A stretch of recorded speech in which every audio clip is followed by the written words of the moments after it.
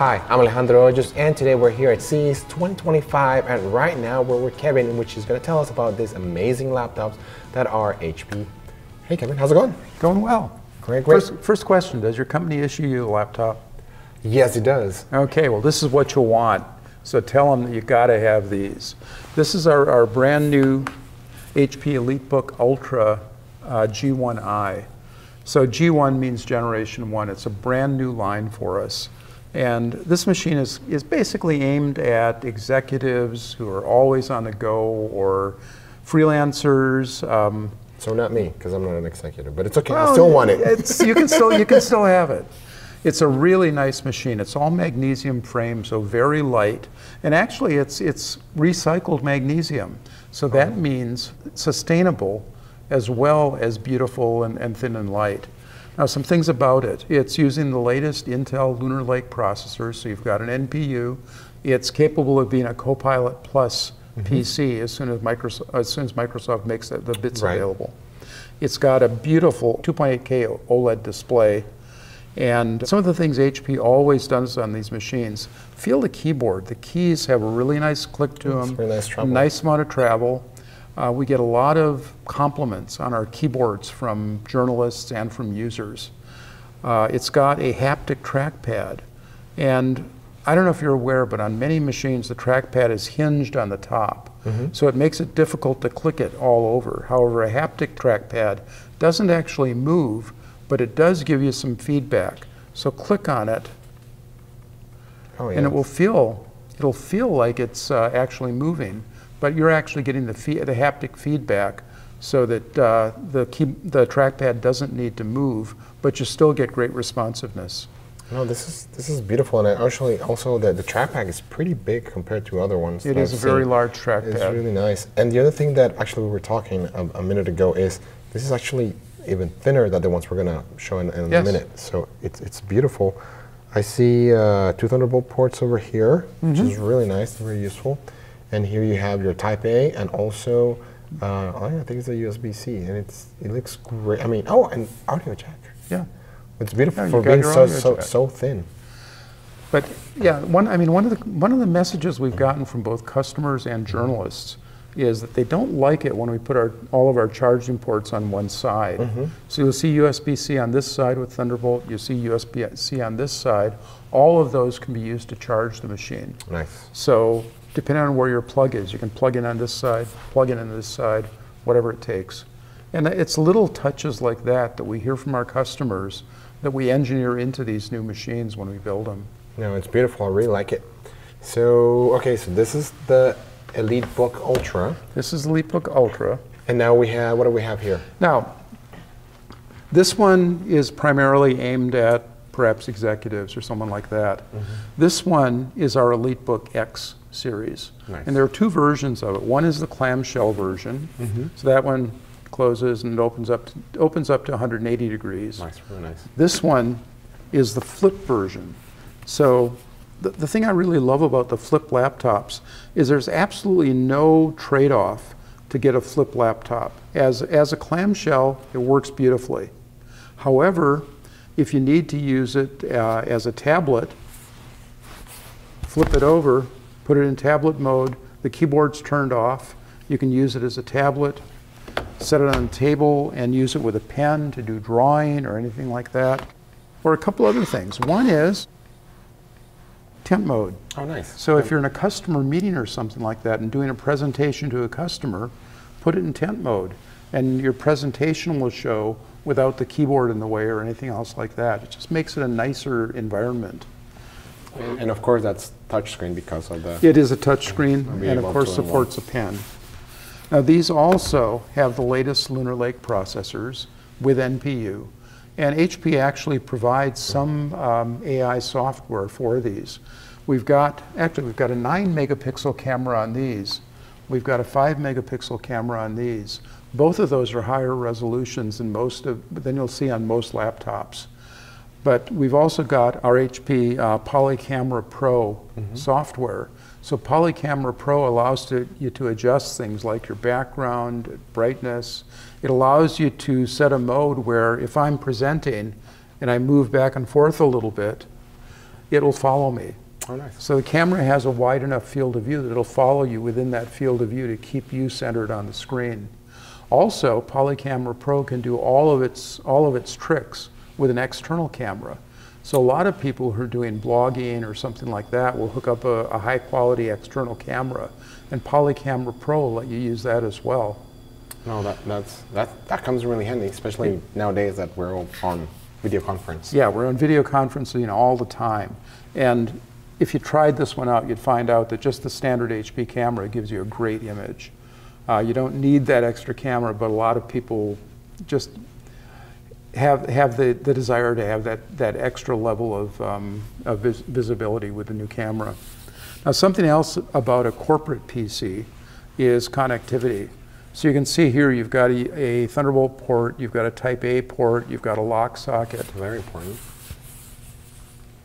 More Thunderbolt, um, and an HDMI port. Business people are doing presentations all the time. Yes, Being are. able to just plug in HDMI instead of having to plug in a dongle or a converter or something like that is really important. Oh. Now, something else that's important in an enterprise environment is security.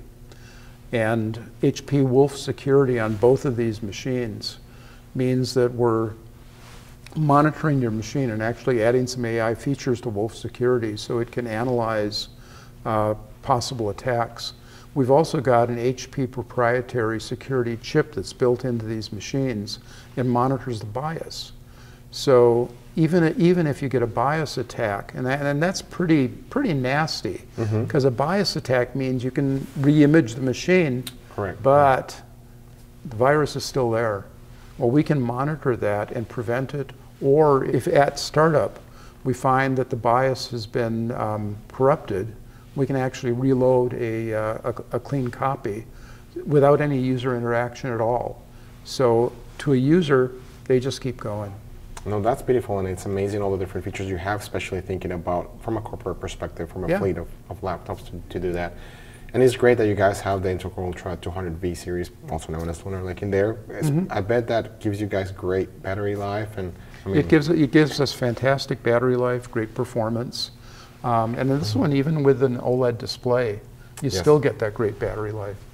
No, this is great, Kevin. Thank you so much. Really appreciate it. Thanks for having yeah, us. Good talking to you. All right, so we just heard Kevin from all the different technical perspectives, but there's more to this, which is a great product, and there's a lot of story behind it, a lot of engineering story.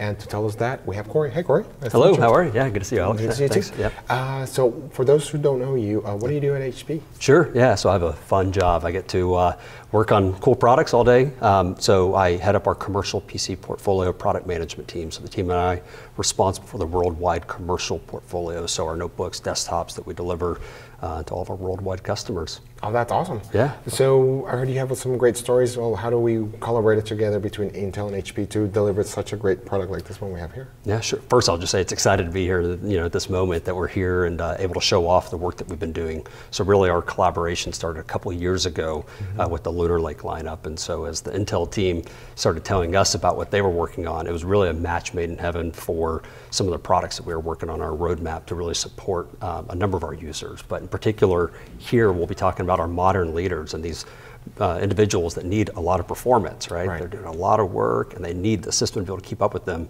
but they're doing it all day. Sometimes they don't want to be tethered to a power outlet. And so power, performance, efficiency, all of that, and now taking advantage of AI, it's just an incredible opportunity for us to bring these technologies together and really deliver a compelling roadmap. No, that is awesome. Uh, yeah. We were talking earlier, you were mentioning something about how you guys were able to create such a compelling and also like uh, do a little bit less, less noisy, kind of reduce the fan noise and all that other stuff.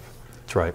Yeah, and so um, you know we, we come to market with what we call HP Smart Sense, and Smart Sense is really it's enabled through you know the partnership with Intel and the EPO technology, and we just start partnering very early on in the engineering effort and get the teams together in the labs and say, okay, how can we find the right balance and we tune the system according to how it's being used, right. and so that Smart Sense does enable either performance when you need it, or if you want to be cool and quiet and more power efficient, it's able to dynamically tune that system performance uh, real time to provide a much better user experience that can keep up with the workloads. That, that's pretty cool. That's pretty yeah. amazing.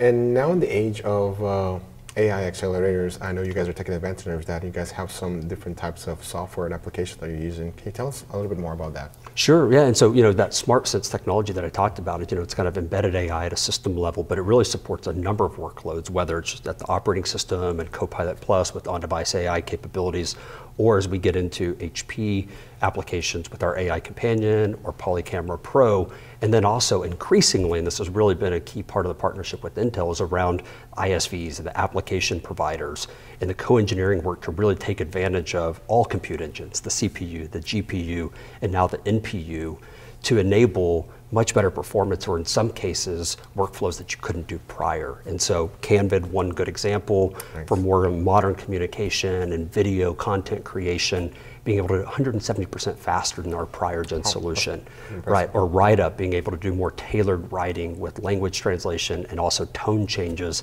And I can do that 140% plus uh, more um, uh, performant mm. gen over gen. That's great. I mean, translation in, in, the world that we live in, especially as it becomes smaller, That's right. becomes really useful. Absolutely. That's awesome. Also, you guys uh, work something very cool, which is uh, these uh, docks. That's right. Yes, indeed. Yeah. So the collaboration didn't just stop at the systems, but we also, um, you know, took into consideration the critical importance of what are you doing, where are you doing it, and what mm-hmm. are you mm-hmm. connected to? And so the dock is a critical part. 54% of our time is spent docked if you're a modern leader. And so taking advantage of Thunderbolt 4 technology and then building on top of that with um, some cool capabilities that enable actually the dock with intelligence built in in the system to start the handshake even as you approach the dock. Oh, nice. So it starts to wake up, starts to activate, and then that enables a much more seamless connection between the PC and the dock. Or in addition to that, being able to do over-the-air updates on the dock so that you don't have to plug in the PC to update all the firmware and everything. Oh, wow. Instead, I can just manage these independently from the system, which is great for IT, all managed through our Poly backend device management system. That, that saves a lot of time, and it's pretty impressive what you can do. And these are also connected if you want to through Thunderbolt 4, right? That's right. It's all Thunderbolt 4. We have various degrees of power capabilities depending on what the host system is and what the configuration is. So very excited to get these in the hands of the users so you can really take advantage of all this latest technology and accelerate workflows. No, this is pretty exciting. This is beautiful. And man, this is a great story. Corey, thank you so much. Appreciate it. Thank Thanks you, Alex. Appreciate it. Thanks for the partnership. Thank, thank you. you.